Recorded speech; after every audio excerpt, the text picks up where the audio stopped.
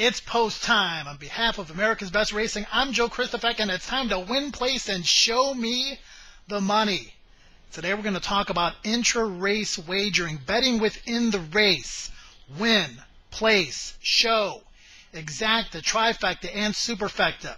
Intra-race wagering is different than multi-race wagering. Multi-race wagering, those bets are the daily double, the pick three, the pick four, the pick five, etc picking winners over a sequence of races. That's a multi-race wager. We'll talk more about that in a future episode of Post Time. But today we're going to tell you three things you need to know about intra-race wagering, and the first is getting your feet wet. Start with win, place, and show. There's no worse feeling than liking a horse in a race, spreading out with that horse in gimmicks like the exacta and the trifecta, watching that horse win, and actually losing money on a horse that you liked Stick with win, place, and show, especially if you're new to the game or lacking a little bit of confidence. Have a little bit of success, see how it works, and then graduate to the more intricate wagers.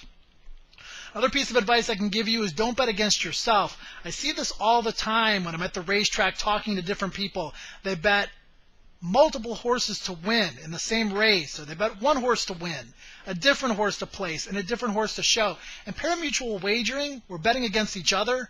Don't bet against yourself. Point number two, climb the ladder.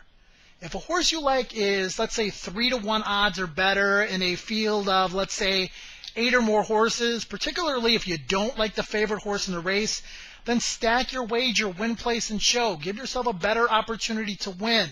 A ladder strategy is an opportunity to grind out a profit if you're picking good horses or limit your losses if you're not doing so well. Again, a good introductory way to play the races. Let's give an example.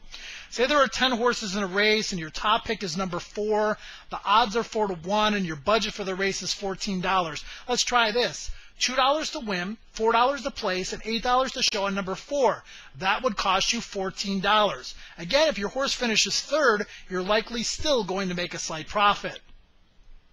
Once you're comfortable with win, place, and show wagering, point number three, don't be afraid to dabble in the exactas, trifectas, and superfectas. And with, when you do, recognize the fact that the with button is your friend.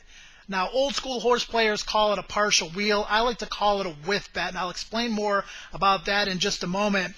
When you're playing the races, no matter how you arrive at your decisions, it's always best to bet uh, to wager based on your opinion. I don't care if you're picking by name, number, color, or truly handicapping the races. You should always bet what you like. The with button allows you in the gimmicks to prioritize your horses and emphasize the ones that you like the most and give you the best opportunities to cash tickets based on your opinion. Here's another example.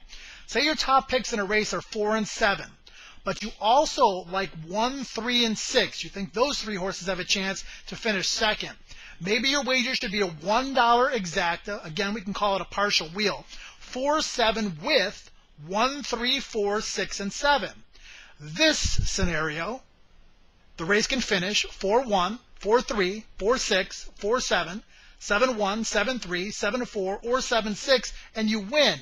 That's eight possible winning combinations at a dollar each, a minimal $8 investment.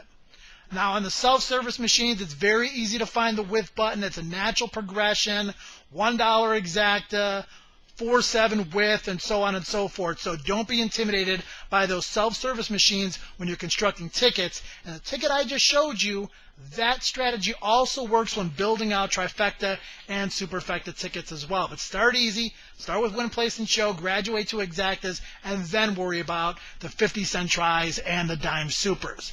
Now, regardless of your skill level or bankroll, learning the best ways to maximize your money gives you the best opportunity to cash more tickets and potentially leave the racetrack with more money than you came with.